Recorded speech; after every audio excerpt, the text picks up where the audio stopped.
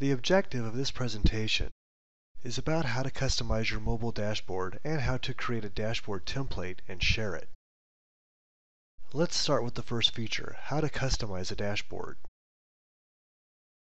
To customize the dashboard, you have to click on the button Edit Dashboard on the Windows 10 or mobile homepage.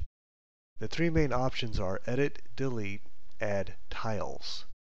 As you can see, the tile aspects can change, so you can now delete it with the bin icon or change its aspect with the pencil icon. Also, a box called Add Tiles has been added in this Edit Dashboard mode. To use the same mode with iOS, you will find the function Config Page in the left panel.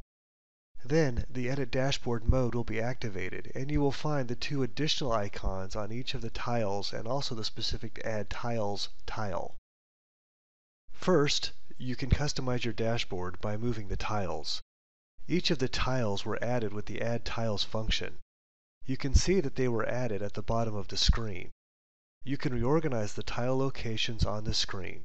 To do this, press the tile you want to move. A square appears around the current tile, then you can move it. A blue line will help you fix the tile to its new location. At the end, validate the new dashboard with the check icon. Now we will explore how you can change the tile's qualities by clicking on the pencil icon. Select for example the advanced order tiles. Select the pencil to change the look of this tile. Note that the tile title can't be changed. However, you can change the color, the size, and add an icon.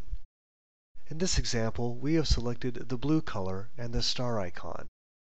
When you're done, be sure to validate the current record with the check icon.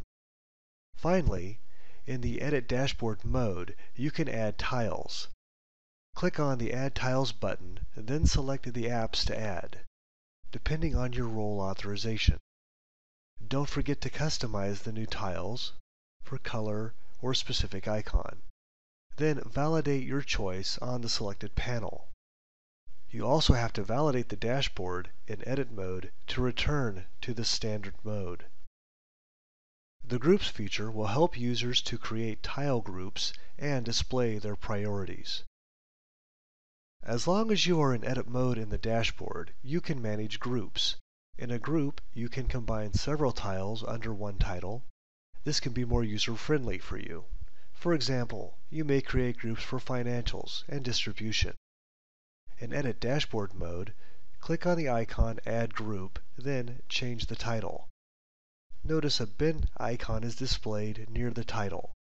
You can now add new tiles with the Add Tiles button and select your app. You can also use the Group button from the tiles to select which group you want to move it to. This operation can be done in reverse as well. If you want to delete a group, you have to delete all the tiles first. Be sure to validate the template to return to the user mode. In the demonstration, you will learn how to manage a dashboard template, how to create it, and its security aspect. To manage templates, you have to click on the My Template button near the Settings access create a new template, fill in the title of the template, then the name of the group. Add the tiles you would like to display and confirm your options. The second part of this customization is about its security. User access to a template depends on role definitions.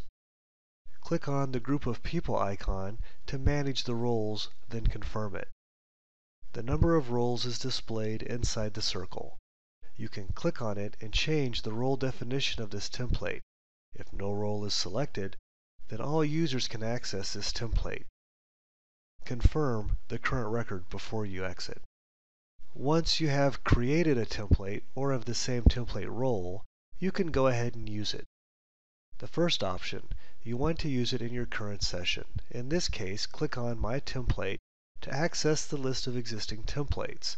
Then select the template you want to use. If you click on My Template, you can change the display template. Finally, you can return to the standard dashboard by clicking on the left arrow icon. You now have a second option where you can choose a template as the default one. Choose the edit mode of the dashboard, then select Template and make your selection. Confirm your choice and you'll see Dashboard Save Displayed. Return to the standard mode of the dashboard. The display is now the same as the template you have chosen, and it will stay like that until your next change. Don't forget, you can only choose a template depending on the security access assigned to your role. As soon as a template is chosen, a user can only change the template, but cannot retrieve the standard dashboard. After selecting Administration Authoring Users, you can access the list of existing customized dashboards. On the beginning of the line, use the Action button to delete a dashboard.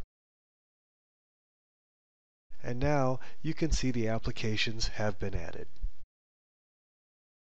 You have learned how to customize your mobile dashboard, create a group, and how to create a template dashboard. You have seen that using a template is dependent on your role.